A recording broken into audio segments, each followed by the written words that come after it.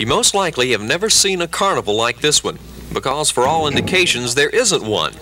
This is the site of the Wilkes County Fair, and these tiny homemade rides are the product of the ingenuity of the local people in Washington, Georgia.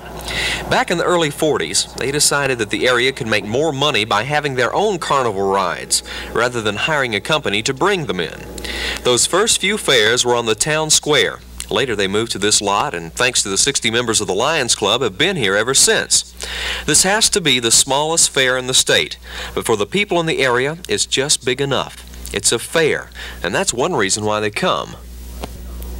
Come to see what you have, I guess. What's different? Ours is different. We've probably got one of the only ones in the state like this. Few of the rides have been bought. Most are a combination of tractor and truck axles, electric motors, Model T transmissions, and the magic ingredient, imagination. The Lions Club has to take the award for the best use of metal lawn chairs. An example is the Ferris wheel.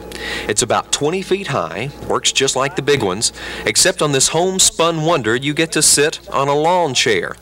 And back over on the little antique merry-go-round, if you decide that one of the wooden horses is a little too spirited for you, you can relax and enjoy the ride in a, you guessed it, a metal lawn chair.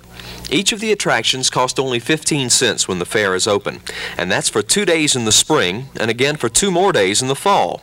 Then it's cotton candy, bingo, games of skill, the rides, and the number one attraction, the tiny train. Under the cowling rumbles an ancient flat-head six-cylinder engine from a 1936 Ford.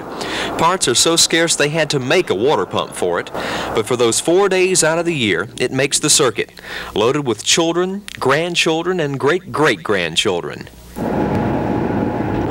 Mr. Hunter, what are you going to build next? Well, if we can find a back axle out of a tractor or some electric motor, we'll think of something. With the folks from the Lions Club in Washington, Georgia, and what has to be the smallest carnival in the state, I'm Andy Johnston.